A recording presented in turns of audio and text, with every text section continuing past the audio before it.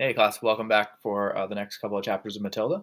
Something that I've been thinking a lot about with this book is how long the author Roald Dahl spends um, introducing the characters and working on character development. Um, and that's definitely a trait of his because that's something that I noticed in Charlie and the Chocolate Factory as well. The early chapters of that book, he spent um, developing Charlie as a character and letting us get to know him. Um, and he's done that a lot with Matilda and her family as well.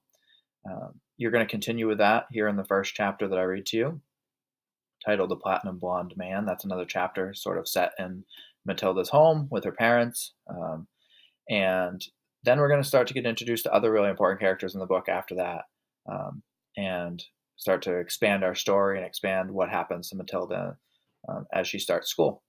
So here we go The Platinum Blonde Man. There was no doubt in Matilda's mind that this latest display of foulness by her father deserved severe punishment. And as she sat eating her awful fried fish and fried chips and ignoring the television, her brain went to work on various possibilities. By the time she went up to bed, her mind was made up. The next morning, she got up early and went into the bathroom and locked the door. As we already know, Mrs. Wormwood's hair was dyed a brilliant platinum blonde, very much the same glistening silvery color as the female tightrope walker's tights in the circus. The big dye job was done twice a year at the hairdresser's, but every month or so in between, Mrs. Wormwood used freshen it, um, used to freshen it up by giving it a rinse in the wash bin with something called platinum blonde hair dye extra strong.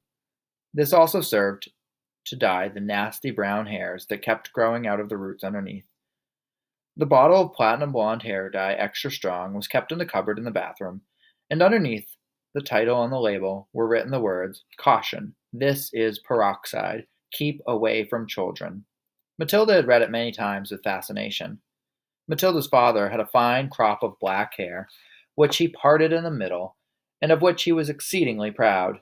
Good strong hair, he was fond of saying, means there's a good strong brain underneath. Like Shakespeare, Matilda had once said to him.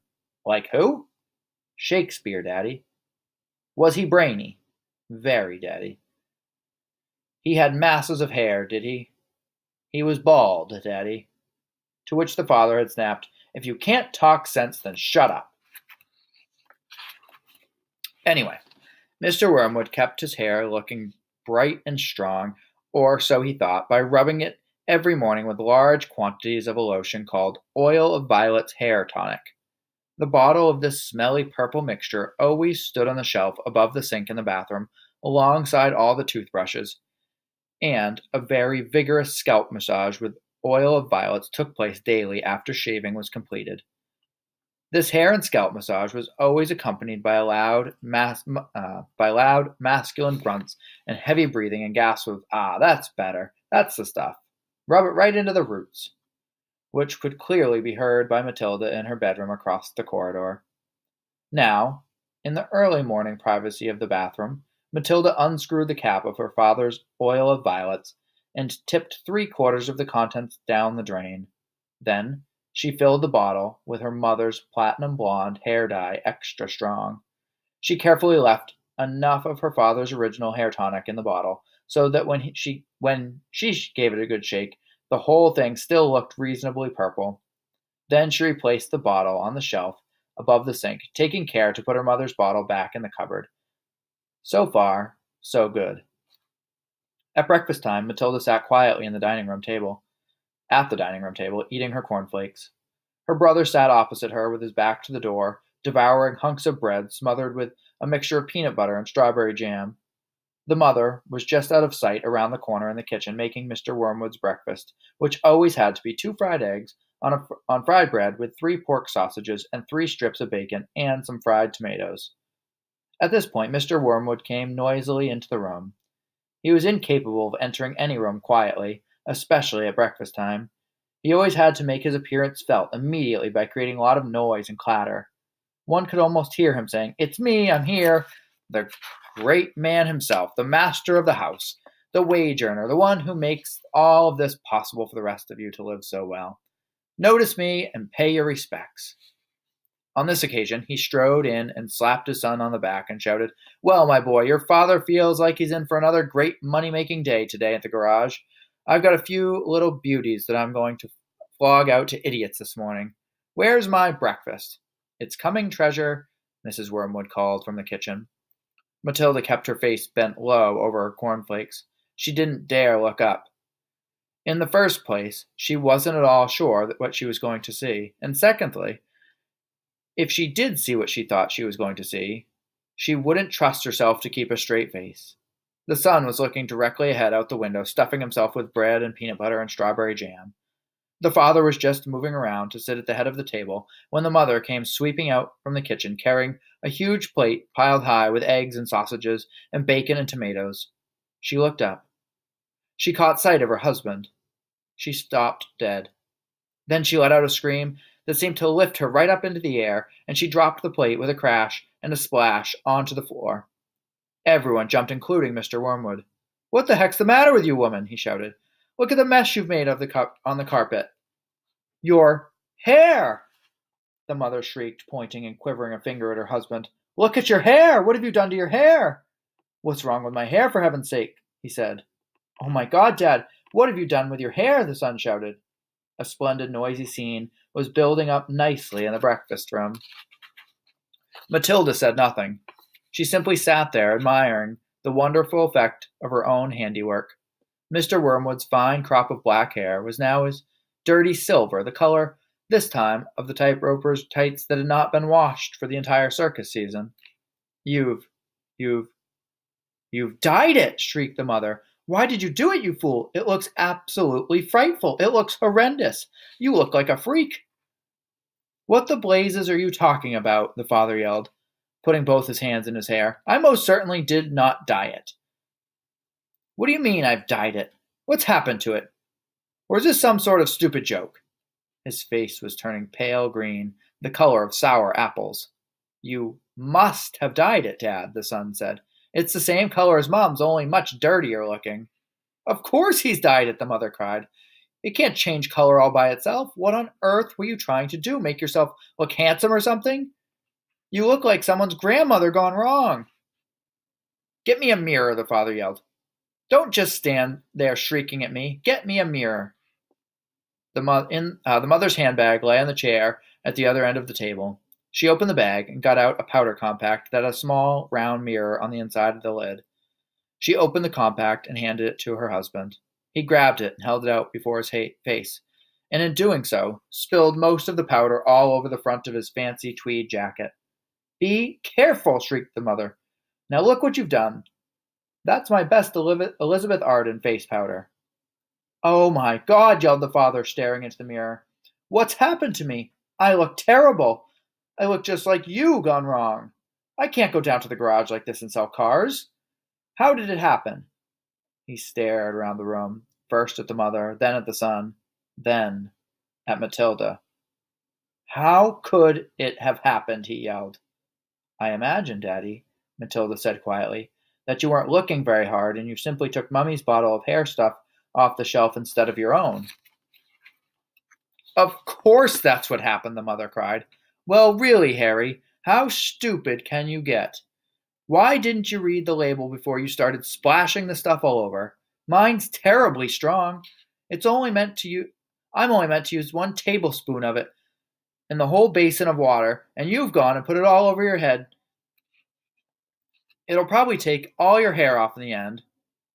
Is your scalp beginning to burn, dear? You mean I'm going to lose all my hair? The husband yells. I think you will, the mother said.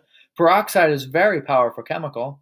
It's what they put down the lavatory to disinfect the pan only after the only they've given it a, another name. That's what they're saying is that it can also be used for cleaning. What are you saying? The husband cried. I'm not a lavatory pan. I don't want to be disinfected. Even diluted, like I use it, the mother told him. It makes a good deal of my hair fall out, so goodness knows what's going to happen to you. I'm surprised it didn't take off the whole top of your head. What shall I do? wailed the father. Tell me quick. What do I do before it starts falling out? Matilda said, I'd give it a good wash, Dad, if I were you, with soap and water. But you'll have to hurry. Will that change the color back? The father said anxiously. Of course it won't, you twit, the mother said. Then what do I do? I can't go around looking like this forever. You'll have to dye it black, the mother said. But wash it out first, or there won't be any there to dye. Right, the father shouted, springing into action. Get me an appointment with your hairdresser this instant for a hair dyeing job. Tell them it's an emergency. They've got to boot someone else off the list. I'm going upstairs to wash it now. With that, the man dashed out of the room, and Mrs. Wormwood sighed deeply, went to the telephone, and called the beauty parlor. He does some pretty silly things now and again, doesn't he, Mummy? Matilda said. The mother, dialing the number on the phone, said, I'm afraid men are not always quite as clever as they think they are. You will learn that when you get a bit older, my girl. The next chapter is titled Miss Honey. Matilda was a little late in starting school. Most children re- begin primary school at five or even just before. But Matilda's parents, who weren't very concerned, one way or the other, about their daughter's education, had forgotten to make the proper arrangements in advance. She was five and a half when she entered school for the first time. The village school for younger, younger children was a bleak brick building called the, Crunch- the Crunchem Hall Primary School. It had about 250 pupils, aged from 5 to just under 12 years old. The head teacher, the boss, the supreme commander of this establishment, was the formidable middle aged lady whose name was Miss Trunchbull. Naturally, Matilda was put in the bottom class, where there were only where there were 18 other small boys and girls about the same age as her.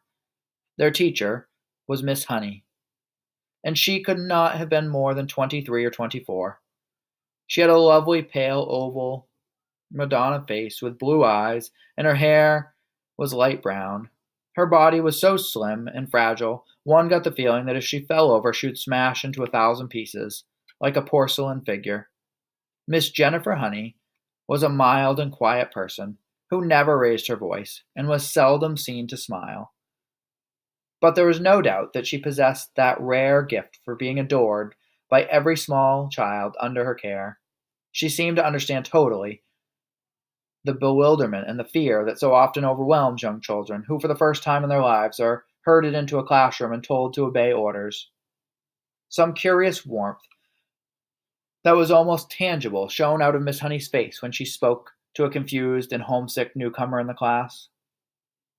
Miss Trunchbull, the headmistress, was something else altogether. She was a gigantic, holy terror, a fierce, tyrannical monster who frightened the life out of the pupils and teachers alike. There was an aura of menace about her, even at a distance. And when she came up close, you could almost feel the dangerous heat radiating from her. From her as the red hot.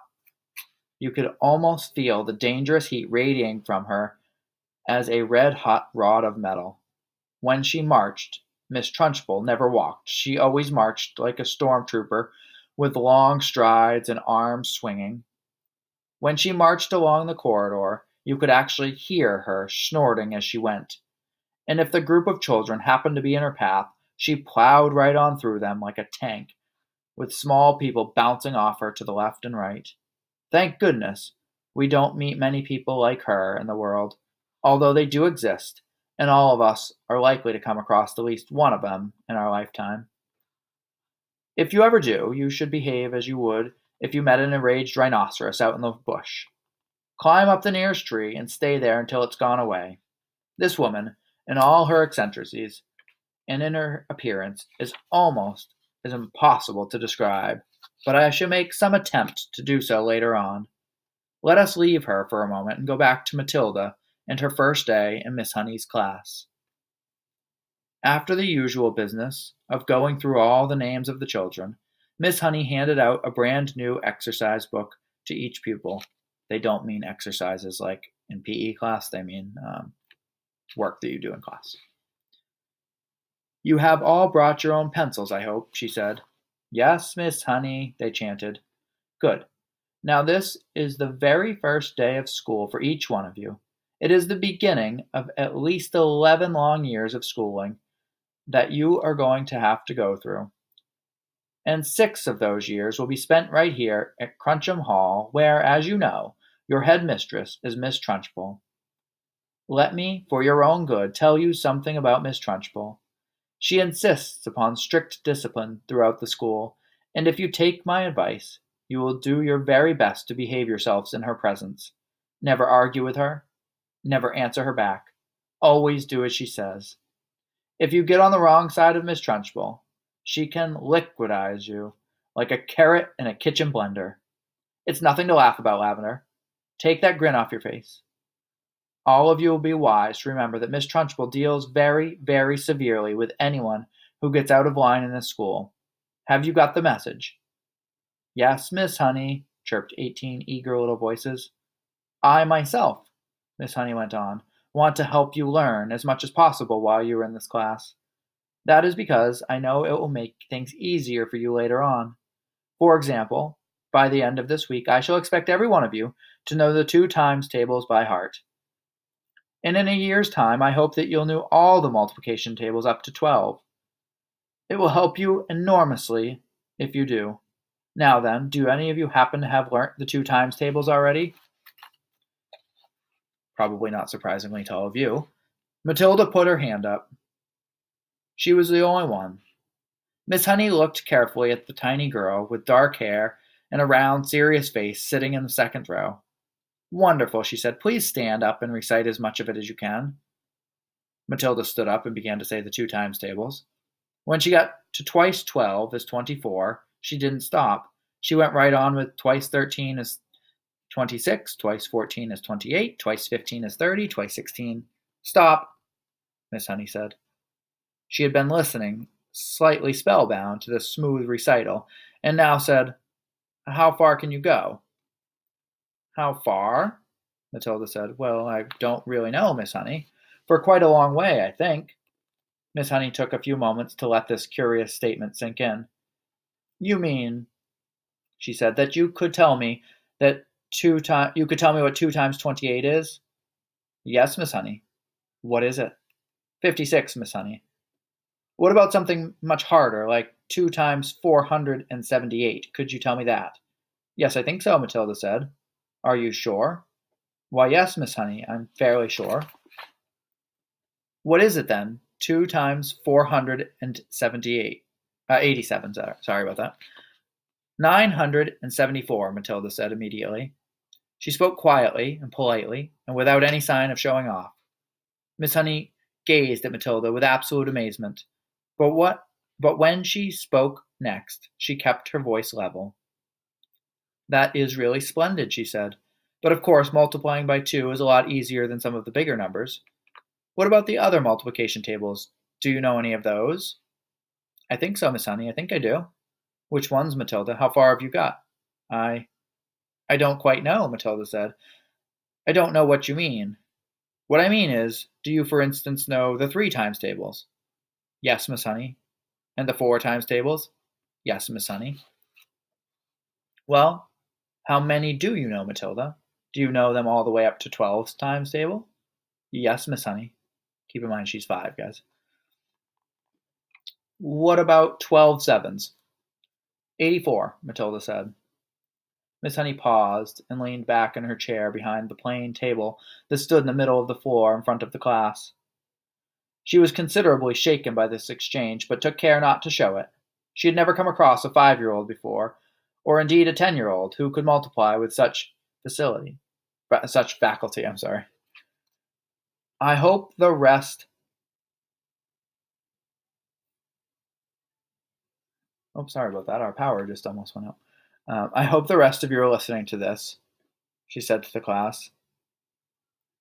Matilda is a very lucky girl. She has wonderful parents who have already taught her to multiply lots of numbers. Was it your mother, Matilda, who taught you? No, Miss Honey, it wasn't. You must have a great father, then. He must be a brilliant teacher. No, Miss Honey, Matilda said quietly. My father did not teach me. You mean you taught yourself? I don't quite know, Matilda said truthfully. It's just that I don't find it very difficult to multiply one number by another. Miss Honey took a deep breath and let it out slowly. She looked again at the small girl with bright eyes standing beside her desk, so sensible and solemn. You say you don't find it difficult to multiply one number by another, Miss Honey said. Could you try to explain that a bit? Oh dear, Matilda said. I'm not really sure. Miss Honey waited. The class was silent, all listening. For instance, Miss Honey said, if I asked you to multiply 14 by 19. No, that's too difficult. It's 266, Matilda said softly. Miss Honey stared at her. Then she picked up a pencil and quickly worked out the sum on a piece of paper. What did you say it was? she said, looking up. 266, Matilda said. Miss Honey put down her pencil and removed her spectacles and began to polish the lenses with a piece of tissue. The class remained quiet, watching her and waiting for what was coming next.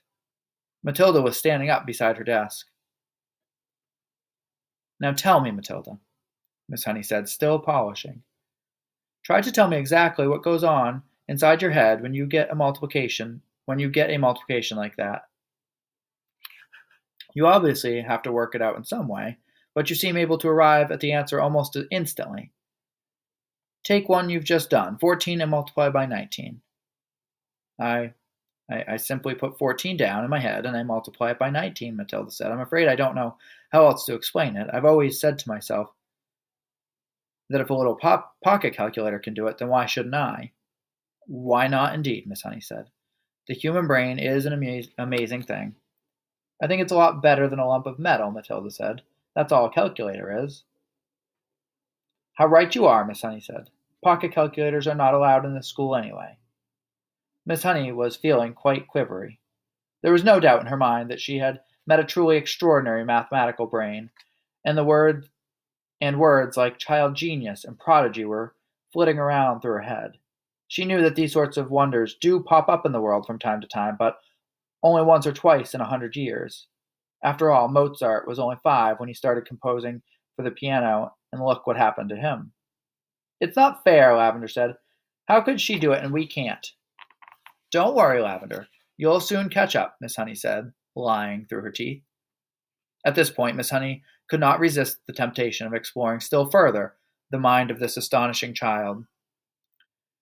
She knew that she ought to be paying some attention to the rest of the class, but she was altogether too excited to let this matter rest. Well, she said, pretending to address the whole class, let us leave sums for a moment, and we'll see if any of you have begun to learn to spell. Hands up if anyone can spell cat. Three hands went up. They belonged to Lavender, a small boy named Nigel, and to Matilda. Spell cat, Nigel. Nigel spelled it. Miss Honey now decided to ask a question that normally she would not have dreamed of asking a class on its first day. I wonder, she said, whether any of the three of you knows how to spell that knows how to spell cat have learned how to read a whole group of words when they are strung together in a sentence. I have, Nigel said. So have I, Lavender said.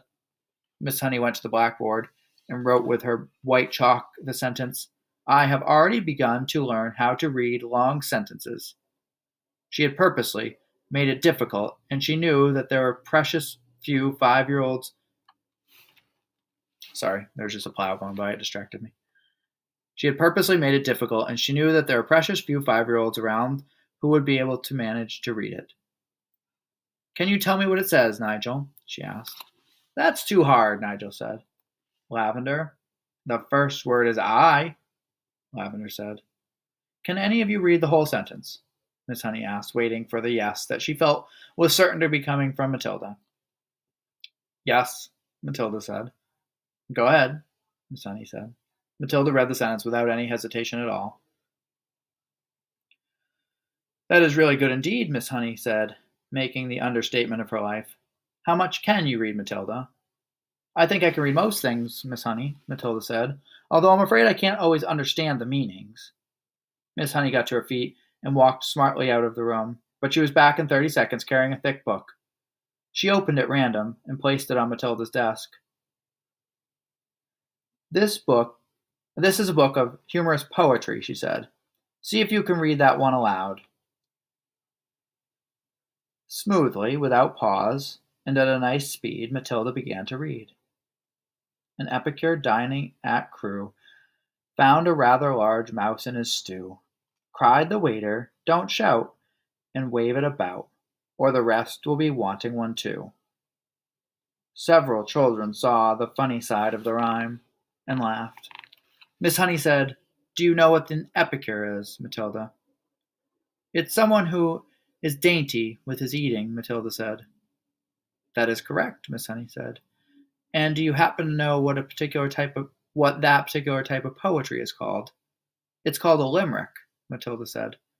That's a lovely one. It's so funny. It's a famous one, Miss Honey said, picking up the book and returning it to the table in the front of the class. A witty limerick is very hard to write, she added. It, they look easy, but they are most certainly not. I know, Matilda said. I've tried quite a few times, but mine are never any good. You have, have you? Miss Honey said, more startled than ever. Well, Matilda, I would very much like to hear one of these limericks that you say you've written. Could you try to remember one for us? Well, Matilda said, hesitating, I've actually been trying to make up one about you, Miss Honey, while we've been sitting here. About me? Miss Honey cried. Well, we've certainly got to hear that one, haven't we? I don't think I want to say it, Miss Honey. Please tell it, Miss Honey said. I promise I won't mind. I think you will, Miss Honey, because I have to use your first name to make things rhyme, and that's why I don't want to say it. How do you know my first name? Miss Honey asked. I heard another teacher calling it to you, calling you by it, just before we came in, Matilda said. She called you Jenny. I insist upon hearing this limerick, Miss Honey said, smiling one of her rare smiles. Stand up and recite it. Reluctantly, Matilda stood up very slowly, very nervously, and recited her limerick. The thing we all ask about Jenny is surely there cannot be many young girls in the place with so lovely a face. The answer to that is not any. The whole of Miss Honey's pale and pleasant face blushed a brilliant scarlet. Then once again she smiled. It was a much broader one this time, a smile of pure pleasure. Why, thank you, Matilda, she said, still smiling. Although it is not true, it is really very good limerick. Oh dear, oh dear, I must try to remember that one. From the third row of desks, Lavender said, It's good, I like it. It's true as well, a small boy called Rupert said. Of course it's true, Nigel said. Already the whole class had begun to warm towards Miss Honey. Although not although as yet she had hardly taken notice of any of them except Matilda. Who taught you to read, Matilda? Miss Honey asked. I just sort of taught myself, Miss Honey. And you have read have you read any books all by yourself? Any children's books, I mean? I've read all the ones that are in the public library in the High Street library in High Street, Miss Honey. And did you like them? I like some of them very much indeed, Matilda said, but I thought others were fairly dull. Tell me which ones you liked. I liked The Lion, the Witch, and the Wardrobe, Matilda said. I think Mr. C.S. Lewis is a very good writer, but he has one failing. There are no funny bits in his books. You are right there, Miss Honey said. There aren't many funny bits in Mr. Tolkien either, Matilda said.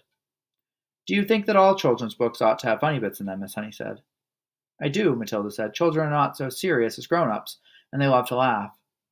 Miss Honey was astonished by the wisdom of this tiny girl. She said, And what are you going to do now that you've read all the children's books?